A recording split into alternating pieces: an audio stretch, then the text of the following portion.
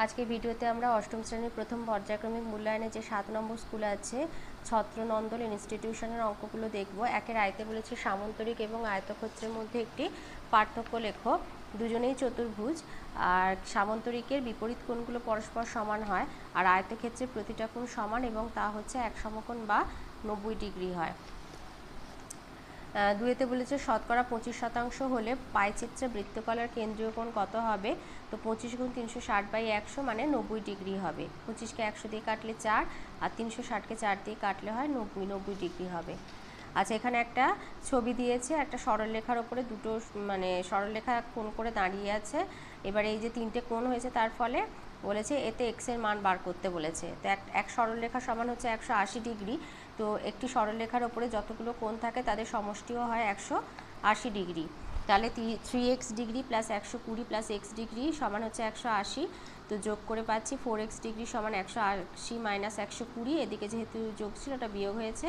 তাহলে four x degree সমান হচ্ছে ষাট। তাহলে এক্স সমান হচ্ছে ষাট বাই চার সমান হচ্ছে পনেরো ডিগ্রি।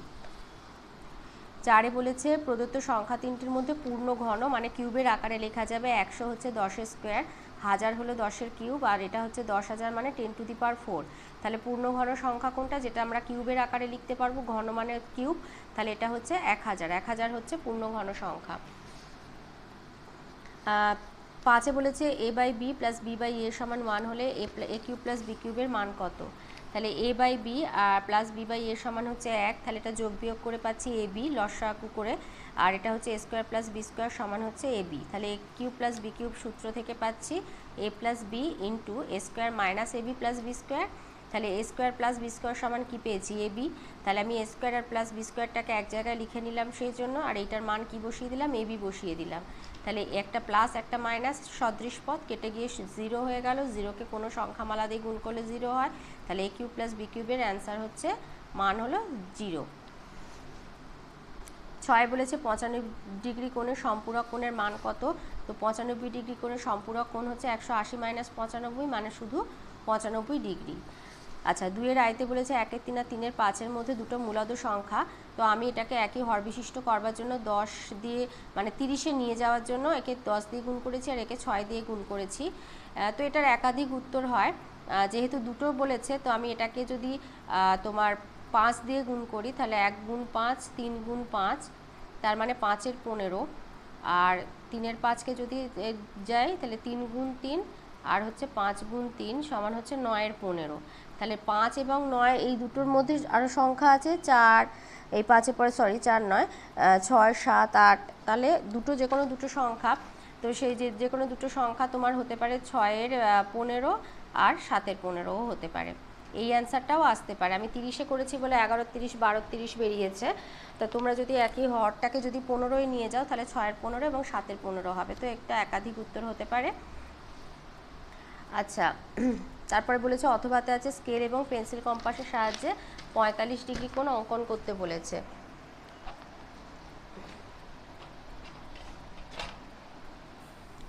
প্রথমে এরকম একটা যে কোনো মাপের সরলরেখা অংশ অঙ্কন করে নেবে, পঁয়তাল্লিশ ডিগ্রি হচ্ছে নব্বই ডিগ্রির অর্ধেক। তারপরে এ বিন্দুতে কাম্পাসে কাঁটা বসে এখানে একটা নব্বই ডিগ্রি কোণ প্রথমে অঙ্কন করবে। তো এইভাবে প্রথমে নব্বই ডিগ্রি কোণটা অঙ্কন করবে, এবার এইটা আর এই বিন্দুটা যোগ করে দিলে আমার নব্বই ডিগ্রি হয়ে যাবে। এবার এই নব্বই ডিগ্রি যে কোণটা হবে সেইটাকে আমরা সমদ্বিখণ্ডিত করব। তাহলে এই যে ছেদবিন্দুটা পেলাম এইটা আর এই মাপটা নেব, মাপটাকে নিয়ে এই কোণটাকে সমদ্বিখণ্ডিত করলে পঁয়তাল্লিশ ডিগ্রি পেয়ে যাবে তাহলে এইভাবে সমদ্বিখণ্ডিত করলে এই আমাদের হচ্ছে পঁয়তাল্লিশ ডিগ্রি কোণ, এবার একটা নাম দিয়ে দেবে বিএ সি কোণ নাম দিয়ে দিলে। তাহলে বিএ সি হচ্ছে তোমার বা সি এ বি হলো পঁয়তাল্লিশ ডিগ্রি কোণ। দুয়েতে আছে ভাগফল এবং ভাগশেষ নির্ণয় করতে বলেছে। তাহলে ভাজ, ভাজক হচ্ছে এক্স প্লাস সিক্স আর ভাজ্য হচ্ছে X square plus eleven X plus সাতাশ। এক্স প্লাস সিক্সকে এক্স দিয়ে গুণ করলে হচ্ছে X square plus six X এবার দুটোই যেহেতু যোগ মানে ধনাত্মক, তাই এটা ঋণাত্মক হয়ে গেল। বিয়োগ করে হচ্ছে five X plus twenty seven আবার এক্স প্লাস সিক্সকে পাঁচ দিয়ে গুণ করলে হচ্ছে ফাইভ এক্স প্লাস তিরিশ।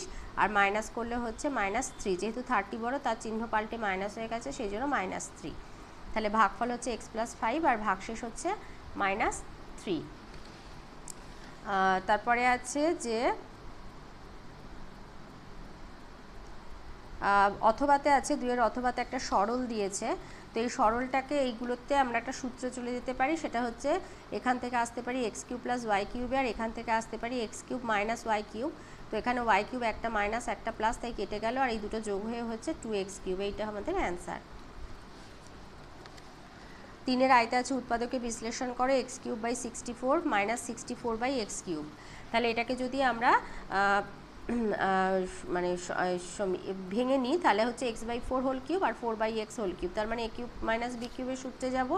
X by four minus four by X R X by four whole square into X by four into four mine by X plus four by X whole square তো এটা এটা কেটে যাচ্ছে, গিয়ে one আর এটা হচ্ছে এক্স স্কোয়ার বাই ষোলো প্লাস ওয়ান প্লাস ষোলো বাই এক্স স্কোয়ার এই হচ্ছে অ্যান্সার অথবাতে আছে square minus B square minus C square plus two BC তাহলে এটাকে আমরা সাজিয়ে নিলে পাচ্ছি square minus B square plus two BC minus C square এবার মাইনাস যদি কমন নিই, তাহলে B square minus two BC plus C square এটা একটা সূত্রে চলে যাচ্ছে square minus B minus C whole স্কোয়ারে তাহলে এটা square minus B minus C whole স্কোয়ারে চলে গেলাম মানে স্কোয়ার মাইনাস বি স্কোয়ারের সূত্র, তাই A plus B minus C আর এটা A minus B plus C হয়ে গেল।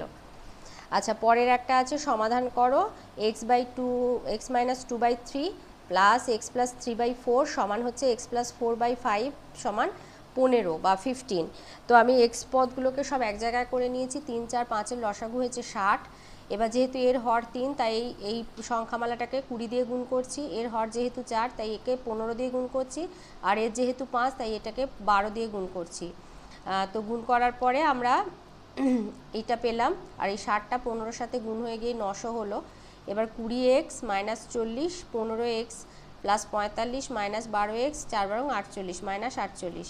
তাহলে কুড়ি এক্স আর পনেরো এক্স এই দুটো যোগ করে হচ্ছে পঁয়ত্রিশ এক্স মাইনাস বারো এক্স আর তোমার সংখ্যাগুলো যোগ করে হয়েছে আট মাইনাস আটচল্লিশ আর পঁয়তাল্লিশ আর চল্লিশ বিয়োগ করে হয়েছে প্লাস ফাইভ ঠিক আছে? আচ্ছা তাহলে এই দুটো বিয়োগ করে হচ্ছে তেইশের এক্স আর এই দুটোর মধ্যে কাজ করে হচ্ছে মাইনাস তেতাল্লিশ। তেতাল্লিশ এদিকে মাইনাস ওদিকে গিয়ে যোগ হয়ে নশো তেতাল্লিশ। তাহলে এক্স সমান হচ্ছে নশো তেতাল্লিশ বাই তেইশ মানে হচ্ছে অ্যান্সার হচ্ছে ফর্টি ওয়ান আচ্ছা এখানে একটা তোমার পাইচিত্র দিয়েছে। এই পাই পাইচিত্র দিয়েছে আর্ট পেপার স্কেচ পেন কাঁচি, রঙিন ফিতে খরচ, মোট খরচ, এটাকে একটা পাইচিত্রের আকারে প্রকাশ করতে বলেছে।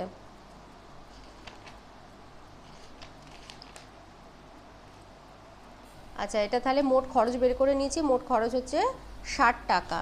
তোমার বারো আর পঁচিশ হচ্ছে তোমার পাঁচ আর দুয়ে সাত, আর দুয়ের একে তিন সাঁত্রিশ সাঁত্রিশ আর নয় হচ্ছে ছেচল্লিশ।